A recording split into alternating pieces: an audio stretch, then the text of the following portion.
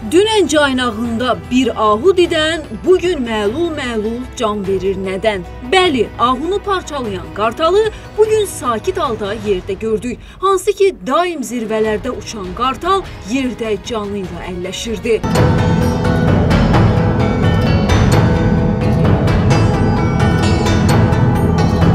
Vəhşi təbiət canlısı yaralı halda Familin maşınına dəyərək onu xeyli həyəcanlandırıb. Müsahibim deyir ki, o maşından düşərək qartala yaxınlaşıb. Bu vaxt canlının qanadının zədəli olduğunu görüb. Elə qartalı da götürüb özü ilə Bakıya gətirib. Üç gündür ki, yaralı qartal balası Familin qonağıdır. Mən bildiyimə görə bu vəhşi bir heyvandır, amma vəhşi nə qədər vəhşi heyvan olsa da mən günlərdir buna yemək verirəm, amma heç bir xəsarət falan yetirməyib, yəni.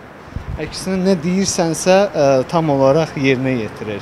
Getmə heç yana deyirsən, ə, sanki dil bilir insan kimi, dayanır yerində, başını salır durur. Daha sonra qartal da götürüb yollandıq Bakı Heyvanat Parkına. Biz hazırda tapılan e, qartal balasını gətirmişik Bakı Heyvanat Parkına və e, baytar bildirdi ki, bu quşun qanadı kəsilməlidir.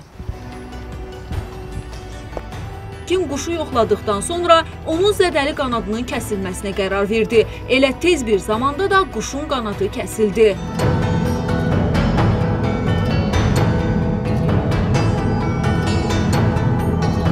Daha sonra Famil quşu götürüb evə apardı. Həkim 10 gündən sonra quşun sağalacağını dedi. Famil də bildirdi ki, qartal sağaldıqdan sonra onu Bakı Heyvanat Parkına təhvil verəcək. Hürü Əliyeva, Rahib Səfərov, Space.